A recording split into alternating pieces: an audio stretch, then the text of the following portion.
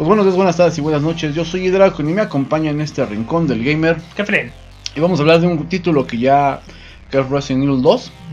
Y bueno, vamos a dar en este rincón puntos eh, malos y lo que ¿qué le podemos haber agregado, qué le podemos haber quitado. ¿Les parece? Pues bueno, aquí iniciamos y esto es el rincón del gamer.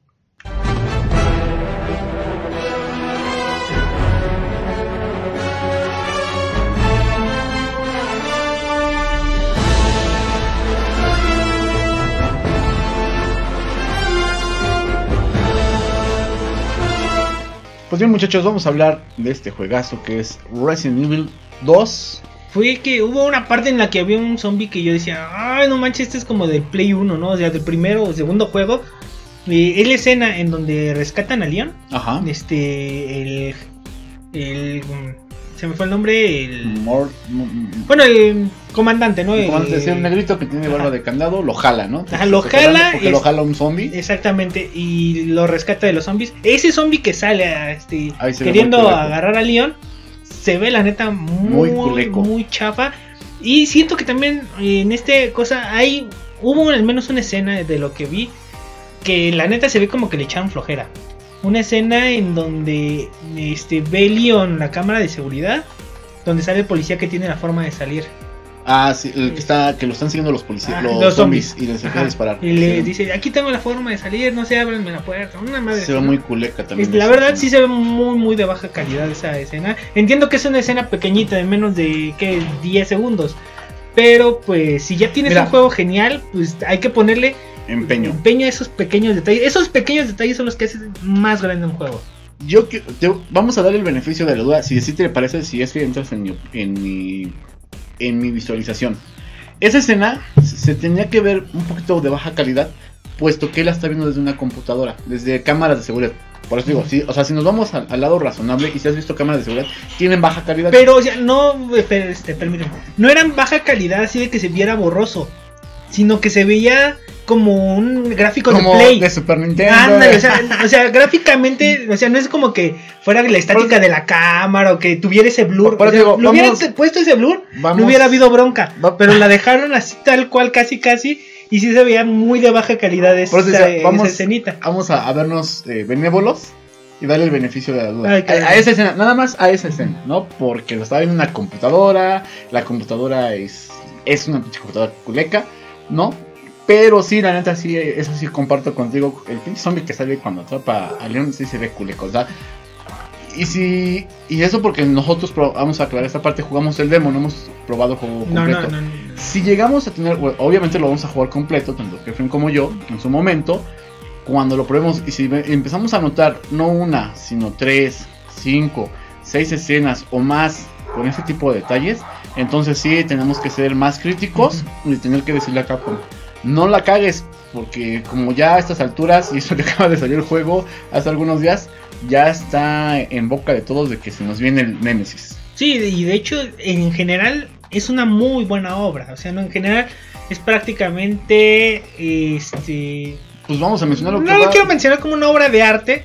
Pero sí, pero este. Pero sí, la neta, este, como lo anticipábamos, creo que desde el año pasado, va a competir para juego del año. Va que vuela para el juego de año, está hypeado para no realmente poder. Siento que es de los mejores juegos que, que van a salir este año. Este, si no es que el mejor, como lo decía. Pero, pues sí, o sea, lo que hace una obra de arte es esa atención a los pequeños detalles. ¿no? Hizo muchas cosas muy buenas, como la imitación, la iluminación, el sonido, eh, la apariencia. Pero estas pequeñas escenas, y son mínimas, o sea, no, son, grandes, a lo mejor dices, no son exigentes. No, sí, son, vamos exigentes porque el juego no está nada barato. Es, lo venden como juego nuevo realmente. O sea, no, es, no te lo venden como un remake como tal, te lo venden como un juego nuevo. Y, entendemos esa parte, pero por, por, lo mismo que entendemos que es un juego nuevo, pues hay que, hay que exigir por lo que pagamos, ¿no? Por eso nos están vendiendo porquerías y porquerías y los que siguen comprando los Assassin's Creed. Por eso no tenemos juegos que realmente deberíamos de tener. Voy a decir esta palabra, porque juegos como Resident debe ser el estándar. Sí, o sea, totalmente. O sea, estamos, estamos alabando un juego que debería, que es un juego que a estas alturas debe ser el estándar y debería de haber juegos mejores, ¿no? Y ahí hemos, hemos visto ahí críticas de Anthem, este, que ya hubo downgrade, ¿no? Y vemos juegos, críticas de otros juegos que van a ser lanzados y que dices tú, pues, ¿qué pasó, no? Me habías mencionado algo chido y resulta que no fue lo que es. Pero bueno, esos son de los puntos malos. Otro punto malo para mí. Mmm, a mí, este. El hablando. Tiempo, el tiempo del demo. Bueno, a mí así rápido antes de entrar el, tiempo, porque también eso me quiero quejar un poquito. Pero. Hablando de los zombies. Eh, al menos a mí me tocó ver, si no me recuerdo, dos o tres gorditos. Sí. En la comisaría, en un demo de 30 minutos. Así es. Eso es algo que, bueno, no he jugado la versión completa y los que lo habrán jugado ya me dirán qué tal. Pero pues si en un ambiente muy pequeño, digamos, tienes la repetición de zombies, ah, no sé, o sea, como que me... sí siento... Cierta decepción, cierta decepción de, que, pues... Que mates al zombie ahorita, pasas la puerta, vuelvas a matar al mismo zombie, pases la siguiente puerta y vuelvas a matar al mismo zombie como que... o sea, como que el zombie genérico, otra vez como que a estas alturas como que ya queda... Eso sí, también. Ah. Eh, yo, y, no, y siendo este, realista no es que te llegue la multitud de zombies, ¿no? O sea, no es que te tengan que programar a mil zombies diferentes este, en el juego. Pero al menos unos 30 sí. Pero al menos, pero no repetirlos en la misma. Digo, 30, o sea, 30 zombies y aparte de que no estén tan pegados uno tras otro, ¿no? Sí, o sea, como campechanearlos, este, poner, este, no sé, aquí el gordito, aquí un flaquito, allá uno alto, allá una vieja, un viejito, y sí, eso, Campechanearlo, y aunque ya los ves, este, como dos o tres escenas después, otra vez, ¿no? Sí, Pero pues ya no es así como que, ay, lo acabo de matar ahorita, Esperemos que no sea así, esperemos que ya en el juego completo ya no se vuelvan a repetir, pero pues bueno, es algo que dejaremos en la incógnita hasta que probemos el juego. Y así Otro punto del tiempo. Este... Del tiempo, la verdad es que es muy poco para un demo. Realmente sí. yo me quejo como jugador, ya no como, eh, como crítico. Me quejo porque sí me pues somos jugadores. Nos quedamos picados en esa parte. Y este... Yo siento que al menos hubieran tenido que dejar que la gente terminara el demo. Mm, es que, por ejemplo, tiempo libre. Más bien que te dijera, que te avisara, a lo mejor sí te avisaba, ¿no? Pero yo no me di cuenta de que A mí no me. No avisó. Bueno, al inicio de que tenía los 30 minutos, sí. Y que era una sola vez, también. Pero si no le ponías mucha atención, así como que. Yo no. ah, ya, ya quiero entrar a jugar, porque realmente era un textito así chiquito. Exactamente. Le dabas a aceptar y pasaba luego, luego. O sea, no era como que este fuera así una pantallota impresionante en amarillo con rojo que te dijera, sabes que nada más puedes jugarlo una vez y 30 minutos. es que hubiera sido interesante que te dijeran eso para estar precavido, porque yo cuando inicié el juego, ¿qué fue lo primero que hice? Pues como jugador de computadora, como todo jugador de computadora, lo primero que hago es meterme al apartado gráfico, ver las resoluciones, aumentarle, quitarle, ver, subir, bajar. Y ya ahí se me fueron fácil como unos 5 minutos, 3, 5 minutos de los 30 que te dan. Y luego en lo que estás, en el aprendizaje, viendo videos. videos y todo eso, y poniendo la atención a todo, ¿no? Porque cuando empiezas a explorar este juego, o sea, hasta ver un mueble. Está hermoso el juego. Entonces, ajá, exactamente, también eso me gustó mucho, los, escenarios, los detalles de los muebles y todo. La máquina de escribir, que ya la, ya la extrañamos, es nostálgica, es emblemática de esos juegos. Me quedaba viéndolos sin pensar en que tenía esos 30 minutos de, de juego. Entonces sí, ya cuando me quedé así de, ¿qué? Cuando me sale el mensajito de, ya se te acabó tu demo, así de, ¿qué, qué pedo? ¿Qué, qué, qué? No mames, no, ¿qué, qué? Entonces sí faltó a lo mejor, como dices tú, un recordatorio. A lo mejor, ¿no? Que de repente apareciera en la pantalla, te quedan 15 minutos. Te quedan 10 minutos. Yo siento que sí, o sea, sí hubiera dejado a la gente. O como dices este, terminar el demo. ¿Por qué? Porque hay muchos que como nosotros, este, en la demo nos quedamos viendo lo bonito que se veía. O sea, y eso bien o mal, este, si lo estás consciente de que son los 30 minutos y nada más es una sola vez. De hecho, yo pensé que eran 30 minutos, pero lo podías volver a empezar. Exactamente. Este, y dije, bueno, son 30 minutos y pues, ahorita lo vuelvo a jugar, no hay problema. Este, y dije, pues me pierdo ahorita checando cómo se ve gráficamente el juego, cómo se maneja y demás. Y pues ahí sí pierdes algo de tiempo. Obviamente si ya si leíste bien las instrucciones, no como nosotros, ¿verdad? Este, pues lo pasas rápido, intentas pasarlo rápido, pero no lo disfrutas como tal. Como debe de ser, sí, exactamente. Esos juegos, y también es una de las críticas a las que voy ya un poquito fuera del demo, es de que ya hay Room, que hay güeyes que dicen, no, yo, te acabo, yo acabé el Resident Evil Remake en dos horas con un cuchillo. O sea, güey, este es un juego para disfrutarlo todo, güey. Ir explorando De hecho, yo, yo he sido. Eh, me he confesado miles de veces que son de los pocos juegos en los cuales exploro todo. Me gusta verlo todo. Y más ahorita con este pinche potencial gráfico. Que la verdad es que hay, ver, hay que ver todo, todo para, para disfrutar el juego. Eso de irse del punto A al punto B y acabarnos el juego ya no pasé por ningún lado. Está mal, ¿no? Y me refiero en este juego que es nuevo. O sea, a lo mejor ya hubieran pasado, no sé, tres meses, medio año. Pues entonces, este, ¿no? O sea, yo digo, si en tu primera ronda o tus primeras dos rondas, no sé, lo pasaste bien, lo pasaste tranquilo, disfrutando el juego, está chido, ¿no? Pero si es tu primera vez tomando el juego y tienes como reto ya desde inicio hacer speedrun, así como que no tiene caso que compres un juego tan caro si lo vas a acabar en una hora o dos horas y no lo vas a volver a tocar en tu vida más que para bajarle el tiempo, ¿no?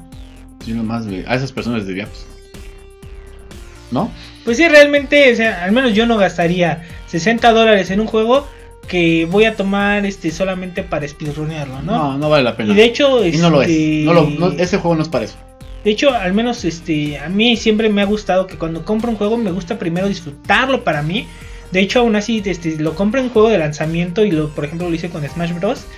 Este que fue un juego que compré de, día 1 este, no subí nada, este, como las primeras, primera o segunda semana, no subí nada de Smash Bros. Porque era un juego que quería disfrutar para mí primero. Y luego dije, bueno, pues ahora sí, ya me grabo jugando el juego, ¿no? ¿Por qué? Porque pues ya al menos ya la primera experiencia ya la había tenido yo. Ya lo había podido disfrutar como yo quería. Y es una vez que ya digo, bueno, pues ahora sí ya me puedo concentrar en otras cosas como grabar, estar hablando, este, preocuparme por este, la edición, preocuparme por otras cosas ajenas al juego, ¿no? Así es. Hay mucha gente que lo sube día uno y lo va jugando el walkthrough, así como lo van haciendo, pues es respetable, ¿no? Cada quien, pero bueno, al menos este, desde mi punto de vista, prefiero este tipo de juegos en verdad, disfrutarlos primero yo, este, y ya después, ahora sí, compartir mi experiencia, ¿no? Con lo que de inicio yo fui experimentando. exactamente, sí, eso también está bien, es, así debe ser, y más juegos como este, ¿no? Que son para eso, para disfrutarse gráficamente. Pero bueno, algo que le pudiéramos agregar. Algo que le pudiéramos agregar. Más zombies. Mm, diferentes zombies, exactamente. Este, yo creo que todo lo demás, todo en general es un gran juego. Mm, yo creo que opinas lo mismo que yo que va para juego del año. Totalmente. Este, No creo que ella, al menos hacia corto plazo de los anuncios que tenemos, no creo que haya ninguno que le, que le compita este año. La verdad es que no, lo veo, lo veo complicado. Si acaso, este, que anunciaron el trailer, que también hay un demo por ahí, no sé si es Division 2. De Division, 2. Pero. Ya conocemos a Yubi. Por eso. a, a, a, Bugisoft ya lo Por ahí, otro que se ve muy chido, este, así de rápido, pero no creo que para nada compita juego del año por el tipo de juego que es Ace Combat 7, ¿no? Pero por el tipo de juego que es, no lo van a tomar. No, porque es muy. Del año, ¿no? Es muy de nicho, ¿no? Es un. Exactamente. Este juego que. Para un sector específico de jugadores. A mí sí me gusta, te voy a ser, te ser este, sincero. Me gustan estos juegos de Ace Combat. Sí, ya probé tres. De hecho, uno lo probé en el PSP. Y este. Son juegos muy, muy buenos. Pero son para gente que realmente le gusta. Clavada. Clavada en, el juego de aviones, ¿no? Porque tienes ciertos Y si no eres de esos de simulador. Y más en, en, particular en simulador de aviones, si no eres eh, clavado en ese tipo de juegos, pues la verdad no. no. Y sobre todo que, por ejemplo, ahorita el 7 le hace referencia al 6 y al 5, pues si no jugaste esos, pues también te vas a perder un poquito. Así es. Porque el juego da por sentado que sí jugaste. aunque sea un, gran juego, no, no va a entrar, no va a competir mucho menos con Resident Evil, que Resident Evil 2 es, es un fenómeno mundial ahorita. Ahorita, sí, definitivamente. Entonces yo creo que sí va para juego del año y pues al menos ya tiene mi voto de entrada. Pues a menos de que nos sorprendan con algo como un The Last of Us 2 por ahí. Pudiera ser The Last of este, Us. Algún juego de ese tal, un, juego triple A. Este, veo difícil que alguien le quite el trono. Está complicado. No, ya no hay. No hay. Y esperémonos, yo digo ya para el E3, que es a finales de año, pero. Pues ahorita de los que pintan grandes y ya anunciados Mortal Kombat 11, o sea, fuera de ahí. No hay más, no hay más. Y eh, bueno, pues en fin, vamos, vámonos entonces. Eh, algunas conclusiones entonces, ¿te parece? Compren el juego, la verdad es una grandísima entrega. Siento que no te va a decepcionar, sobre todo si eres fan de Resident. Si no eres fan, si no jugaste la primera versión, esta de todas formas te va a gustar. Así es, es, un gran juego.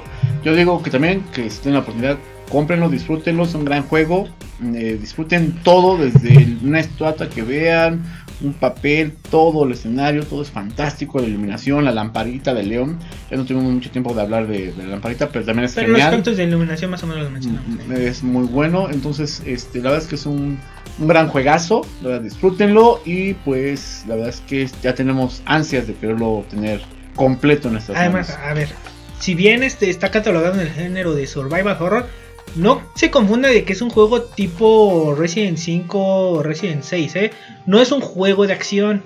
Es un juego más de puzzle, de estarle pensando, de buscar cierto ítem para abrir cierta puerta y avanzar. Y de venir. Exactamente, no es un juego de acción como tal. Si lo compras pensando que es similar a los anteriores, estás totalmente perdido. Y eso lo hablamos para los de ahorita, ¿no? La, esta generación. Obviamente los que ya lo conocen de inicio, pues ya ni siquiera. Ya, ya saben que va a estar medio... Ya, ya se la saben, ¿no? Que es puro puzzle. Pues vale, pues vamos a despedirnos. Ya saben que estuvo aquí con nosotros. Jeffrey. Y bueno, vámonos, chavos. Pues bueno, ahí está toda la pantalla, toda eriza. No sé qué le hiciste, pero pues en la que la acomodo, pues cuéntanos de tus de tus redes sociales. No me encuentro. Acá está aquí.